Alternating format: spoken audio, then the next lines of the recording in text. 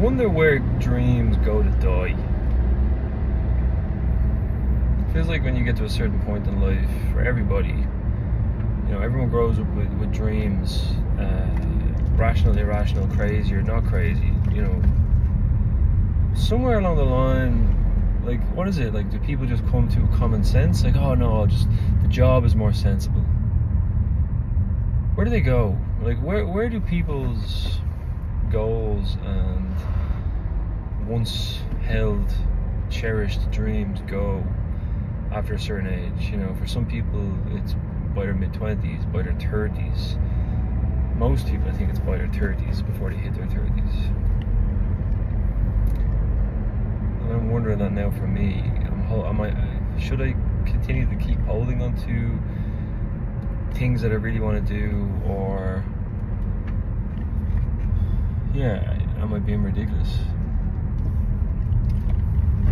I find myself frequently coming back to the idea of like things I want to do in my life, and like little challenges or big challenges I want to try. Like at the moment, I'm really getting into running, and I would I would like to push myself to the challenge of doing an ultra marathon.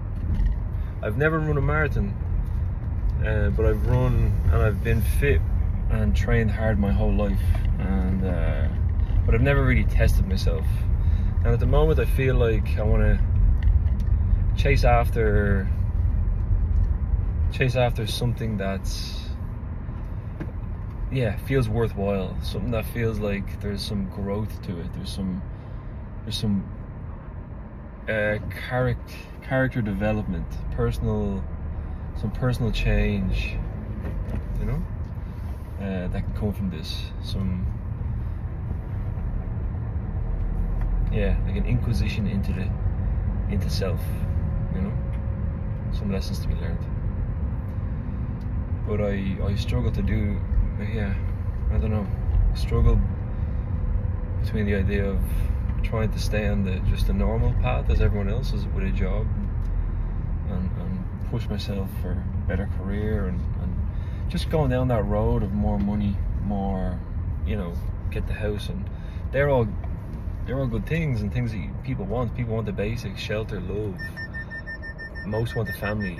You know, those, those kind of things that are also in our in our DNA are intrinsically linked to being human or you know for survival.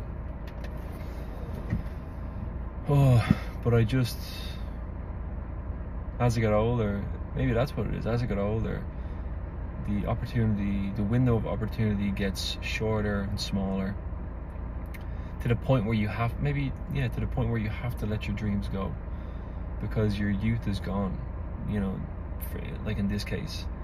I feel energetic. I feel young. I've got my issues like back issues and you know small things uh, and big things but uh, yeah i feel like maybe it's not that we let them go it's just that we never act on them um, it comes to a certain point where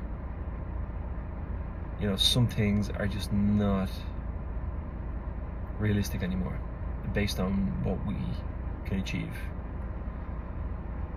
And I know there's people who, who are, who are going to say, you know, the optimists out there who will say it's never too late to do something. That's true also, I suppose. In a way, it's like, yeah, you could be 50 and still run an ultra marathon, but that's its own challenge, and that's like, wow, like, yeah, just as difficult, but in a, a different form of difficult. I don't know. I think my biggest problem with my goals is like I'm afraid to put myself out there. I'm afraid to. I've always been a shy guy, man. I don't know why. Always been a shy person and someone who just keeps quiet. I am introverted in some way. I don't like the attention, but sometimes uh, some of my dreams require some extroversion, if that makes sense. It requires me to be a bit more out there and vocal and. Um, engaging with like social media, uh, or not social media, but just with these platforms because it's like this is a way to yeah get your message out there get yourself out there get your dreams out there.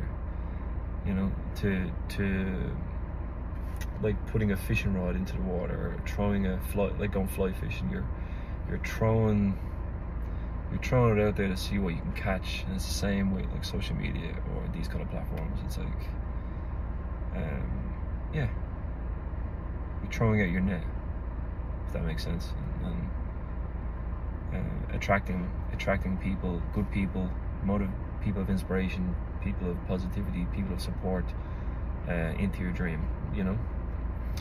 But I suppose if you're always shy and afraid to put yourself out there, you, yeah, you're not, you're never going to really attract the people to help, the people to support you.